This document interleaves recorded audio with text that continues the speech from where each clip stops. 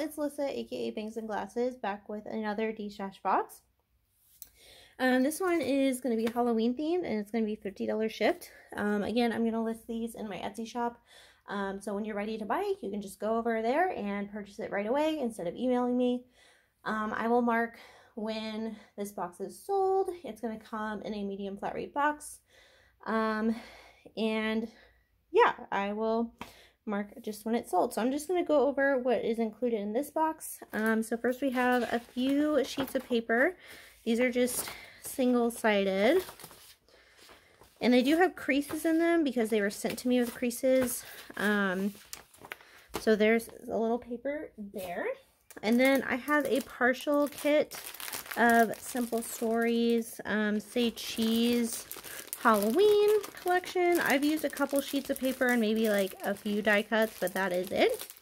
Um, so you'll get that. And then there's so many embellishments in this pack. Um, there's this whole gallon size bag of things. Like this is jam packed with all sorts of stuff.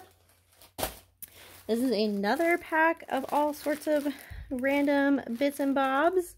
Um, here's some ribbon, a whole other thing of bits and bobs, a whole other thing of like ribbon and stuff.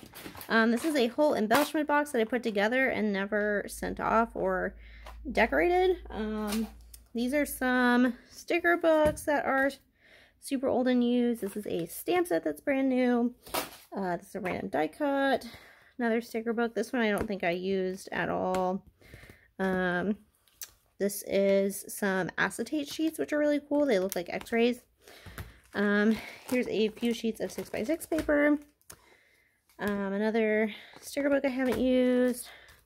There's this and this and some bats and this and this and these.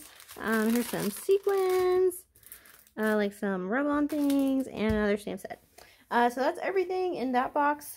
Um, again, going to be listed in my Etsy shop. Uh, thanks for watching, and I'll see y'all soon. Bye!